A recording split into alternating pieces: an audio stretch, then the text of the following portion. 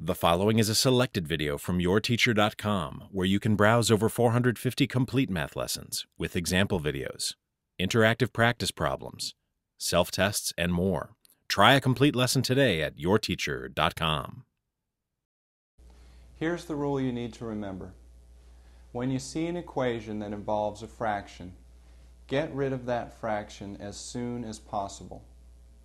We've already talked about one way of getting rid of a fraction, which is by multiplying both sides of the equation by the reciprocal of that fraction. A more common and more versatile way, however, of getting rid of a fraction is to multiply both sides of the equation by the denominator of the fraction.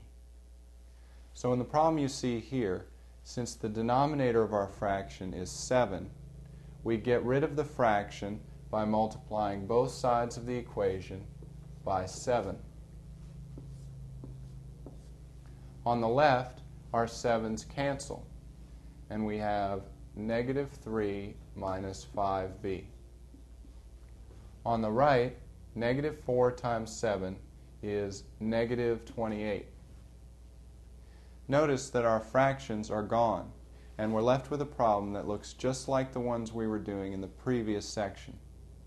Our next step is to isolate the b term by adding 3 to both sides.